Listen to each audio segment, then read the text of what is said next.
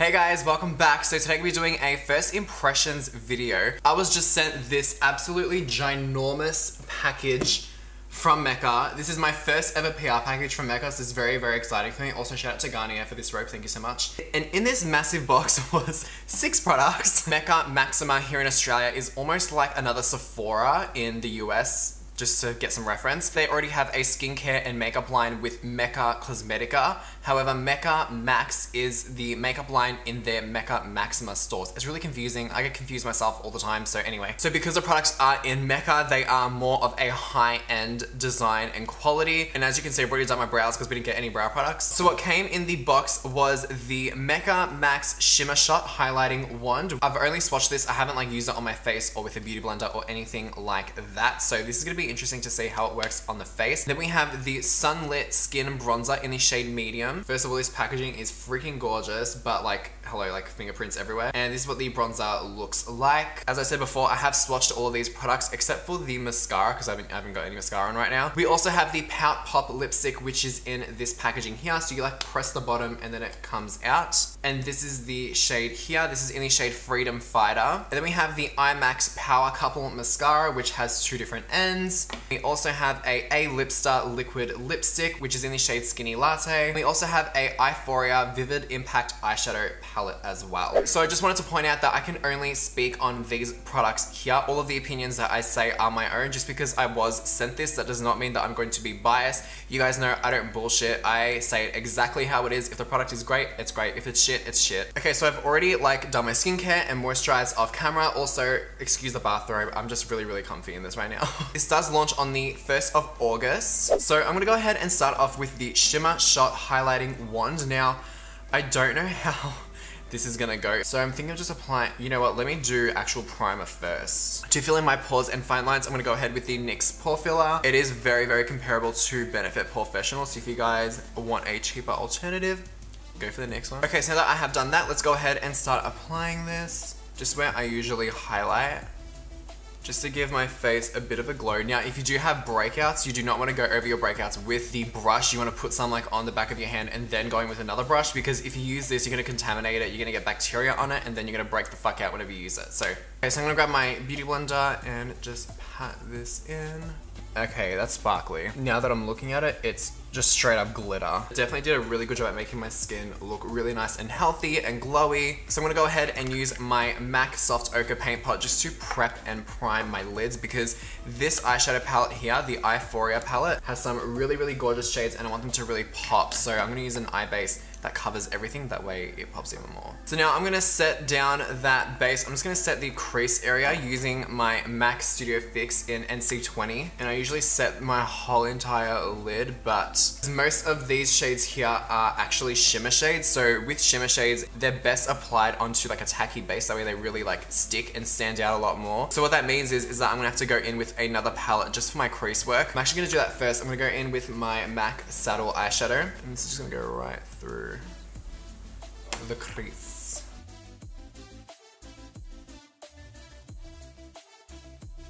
So with the Eyeforia Vivid Impact Eye Palette, let me just go into like the details as to what it says on the website. So it says, from peekaboo nudes to all out glam hues. This eyeshadow edit it's a palette, but okay, is made for mixing and matching. Layer metallic shimmers with matte neutrals in rich jewel tones, like like jewels, like rubies and like jewels, like in rich jewel tones, okay? to create statement making eye looks. Palette's gonna retail for 45 AUD or $50 in New Zealand. So I'm gonna go ahead, I usually apply my shimmer shades with like a MAC 239 brush. So I'm gonna go ahead and pack on. I think I wanna use this shade here. Okay, that pigment looks really, really good. Let me just like swatch this one time with my finger.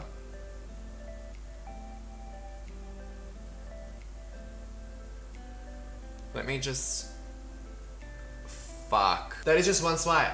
That's just one fucking swipe. Okay, so um, I'm thinking I'm gonna have to darken up the outer part of my eye first before I go ahead and do all of this. So let me just go back in with Saddle and darken it up. I'm gonna go in with MAC Handwritten, which I think is very similar to Americano by Makeup Geek. Okay, it's a bit messy, but we can clean that up, that's fine. I'm gonna go in with this shade here now.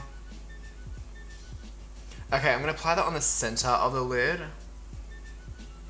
And then I'm gonna grab the back of the brush and I'm gonna go in with this lighter kind of lilac shade. And I'm, oh, this doesn't look that pigmented. Okay, this isn't anywhere near as pigmented as the other ones. And I'm gonna put this in my inner corner, but there's literally nothing showing up. I'm gonna grab my finger with that shade. I'm gonna use that to apply it all over my lid because as I was blending that color out, it literally lost all of its pigments. So, um, all right, so now let's just, I look like a fucking mess. Blend out this edge right here. Okay, because I'm, I'm finding that as I'm blending out these shadows, they're disappearing into nothing. Let me just try and fix plus the brush. Yep, you need fix plus. Okay, so you definitely do need fix plus if you want these eyeshadows to work, otherwise they will literally crumble off and fucking go everywhere. But you can see the difference of the color, right? Just like by adding Fix Plus, how it makes it a lot more brighter. This is frustrating me because now that this brush is wet, it's no longer working with the Fix Plus method. So now I'm gonna have to go in with another dry eyeshadow brush. I'm actually kind of disappointed right now. I thought that these were gonna be amazing, but okay, let's just keep going. Yes, there we go. I'm gonna try and fix plus the smaller brush and use it as a inner corner highlight. Okay, no. Alright, I'm gonna call it. I don't like this eyeshadow palette. The reason why I chose to do purples on my eyes is because purples are the hardest eyeshadows to make. Like, not just eyeshadows with anything, they're very, very tricky because the pigment is quite unstable. But anyway, I'm gonna highlight using this shimmery white shade from the palette. Let's do a little swatch. Okay, that comes out beautiful. That, oh my god, that is a highlighter though, goddamn. So let's just use this as a inner corner highlight. Yeah, that's gorge. This is what I wanted the other shadows to be. Okay, so moving on to the rest of my eyes now, I'm gonna do some winged liner. I'm gonna use my NYX matte liquid, what is it? Matte liquid liner. Okay, so now that lashes and liner is on and everything is done, let's go ahead and move on to skin. Now, I have high hopes for the, you know, I, I don't know why I should have high hopes really. I also did use the mascara on my top lashes just as I popped on my falsies and it was a little bit wet. I think it's because it's quite new. So um, I'm really excited to see how this other end is gonna go though with like the mini mascara. Okay, but let's move on to skin. So I'm gonna go ahead and pop on some foundation. I'm gonna be using the Maybelline Matte and Poreless foundation in the shade 122. Okay, so I'm willing to give this Shimmer Shot highlighting bullshit another chance. Let me just go on the actual website and see what it says about it. Click and glow with this pen of liquidized light that will fix all your beauty dramas in a flash. Wear alone or mixed with a foundation. So I'm actually gonna try and use it on top of foundation and if it doesn't go well, then um, fuck. Okay. I have a feeling it's gonna make my foundation go patchy, so let's just put it everywhere. Okay, it's definitely making my foundation go patchy. Don't know. Also, this pen retails for $25 Australian and $28 New Zealand. Hold up, it did leave a kind of like a nice glow. But you really have to push that shit in. I don't, I don't like that. Okay, let's move on to a concealer. So um, I'm actually using a new one. I'm using the Maybelline Master Conceal because I've seen so many people rave about this. Doesn't look like it's gonna make me look white under my eye, just a little bit more highlighted. I'm also gonna take that down the sides of my nose.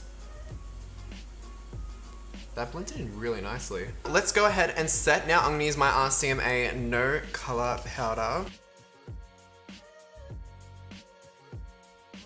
I'm also gonna take like whatever translucent powder is left. I'm just gonna set my cheeks because um, I want this bronzer to work.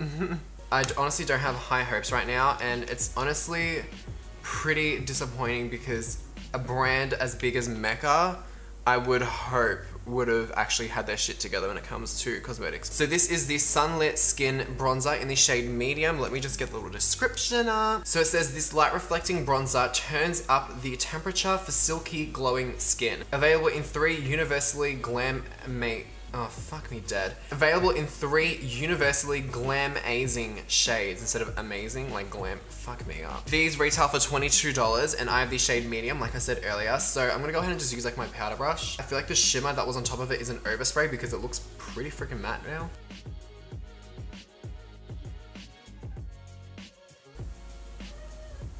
I'm not mad at it. I'm also gonna use that to bronze up my forehead.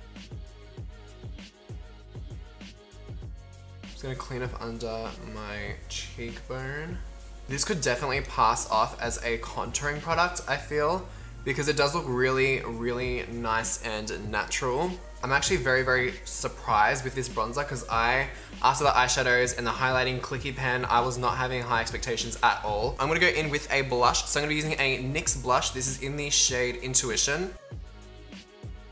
Now I'm using a new highlighter product that I it's not it's new to me, it's not new to you guys. This is the Sleek Solstice palette and I've been dying to get my hands on this. I was walking through Target the other day and I saw it and I was just like, I'm actually gonna use this shade here. I don't really like the yellow tone. I don't know why, it's just not as pigmented to me. Oh my god, this is everything. And this is on top of powdered skin as well, guys. And it's showing up this much still. Like, are you joking? Let's finish off the eyes. So I'm gonna go back in with Saddle by MAC, just on a pencil brush. And then I'm gonna go in with the small version of the IMAX Power Couple Mascara. Let me get the info. Take lashes to new limits with this double-ended, multi-talented, it's talented guys, powerhouse mascara designed to lift, lengthen, and curl every single lash. Use the micro brush first to define and separate. Oh, fuck, I didn't do that. Followed by the chubby end to build volume, length, and va va voom. Okay, let's go ahead with this small guy. Okay, I don't know if you guys are actually seeing how excuse me, how tiny this is. Like, it's not even the size of my pinky. It literally feels like I'm not applying anything to my lower lashes. Like, it it just feels like I'm moving them. Okay, so that little ass wand, look at the drama on my lower lashes. Are you joking? Holy crap. Let me just comb them out. It's just a little bit too much for me. Okay, so the mascara is a thumbs up, the bronzer is a thumbs up. Now it is time for the liquid lipstick. So this is the A-lister liquid lipstick in the shade Skinny Latte. I don't like that you can't see the color through the packaging. That also means that you can't see how full this really is. So this is what the color looks like. I have swatched this as well. It is a really, really nice nude shade. Here is what the one looks like. It's just a flat doe foot. Doesn't smell like anything at all. Let me just read the claims for this. Full cover, long wear, lip color. This high pigment matte finish formula in seven shades of bulletproof beige, powered up pinks, and timeless reds. Okay, well, let's get cracking. So I'm just gonna go ahead and slap this on. Oh wow, that is pigmented shit. Pretty much full pigment on the lower lip. The top lip's starting to get a little bit streaky because I am running out of product. And this is just like one dip in, mind you, as well. Okay, and that is the second coat done. Now, this lip does not go with this eye. I feel like a 90 year old grandmother, but this formula is very quick drying. My bottom lip has already almost set fully, so um, this could be interesting to see how this holds up. And I really, really like how flat this applicator is. I found it really, really easy to sculpt out my lip shape. And I love how that it's not like really furry. Like, you know how you can get like those liquid lipsticks that have the applicator and it's like fluffy and shit and you, you can't get a crisp fucking line. It's annoying. I did not have that problem at all. This was really, really nice. So let's just go ahead and let this dry for a couple of minutes and then I will be back. Okay guys, so I just got changed. I changed into this t-shirt that I got from Zara. This is actually actually what I was meant to wear for the Face Awards night. I didn't realize until the night before that you can actually, it's like see-through. It's like literally see through. You can see like my nips through it. So I was like, mm, not happening on stage. Nope. The liquid lipstick has definitely dried down to a full matte. It has a little bit of a tacky feeling, but um, I'm gonna kiss the back of my hand to see if there's any transfer at the moment. Almost no transfer. There's a very, very slight rim, but um, I'm actually kind of surprised because this is still kind of tacky. I really hope that this does not fully set down to a full matte matte because if it goes too matte then it's to dry the fuck out of my lips. I naturally have pretty dry lips as it is so hopefully this doesn't fuck me up. Let's just go over the products really quickly, just give me my first impression. The eyeshadow palette, I don't have high hopes for at all. Purple shimmers applied fucking shit. Had to fix plus them and then they worked fine. The bronzer, I'm really, really loving. I love this bronzer. The bullet lipstick is pretty cute. Um, it's not something I'm gonna wear every day, so I'll probably give it away to one of my friends, but it is a stunning color and it's more of a satin finish. The liquid lipstick, I'm kind of really liking now that I've changed up like my t-shirt, I'm out of my bathrobe. I usually hate these kinds of colors on me, but I think it's growing on me. The Shimmer Shot Highlighting Wand, um, I didn't notice it. Just reminds me of like moisturizer mixed with glitter. It's kind of like MAC strobe cream, just uh, fucking glittery. So the mascara I do like. It does definitely give a lot of definition, a lot of volume as you saw from my lower lashes on camera. The only thing I don't like about the mascara at the moment is that it left it kind of clumpy. So it's gonna be interesting to see if this transfers and how well this stays on as well as a liquid lip. I wanna know if it's gonna crack. I'm gonna go have a drink, have something to eat. I'm not gonna be drinking through a fucking straw. Like I'm just gonna go through like my normal everyday routine because I don't drink out of straws every single day. Like fuck that. Also, I'm gonna be filming a couple of videos as well for you guys today. So let's just go ahead, leave this on, see how it goes, and I will be back soon. Okay, I just wanted to come on here really quickly and just give you guys an update. It's been like three minutes. I just made myself a cup of tea because I'm just like, I just need some caffeine right now. And it has already started transferring. So this is gonna be interesting to see if this actually is long wearing like it says in the name, like in the claims of it. Hey guys, so it is currently like 7.30 or 8 o'clock at night right now. I am ready to take everything off at this point and I feel like I know what my general opinions are of these products. So let me just go ahead and get real comfortable. This is like a hack that I have for these t-shirts here that I wear in my videos that are like to just, see that? Like I'll just get like a hair clip and clip it up at the back Oh, yep, locked. Let me just get comfy real quick. Okay, so final thoughts. First of all, this Shimmer Shot Highlighting Wand, I didn't notice it. I don't know where it's gone. I don't know where it's been. I don't know who took her. It's a great idea in theory, but the fact that this is so glittery turns me the fuck off. It looks gorgeous on the back of my hand, right? But once you blend it all out and the, the formula settles into your skin, you're just left with glitter.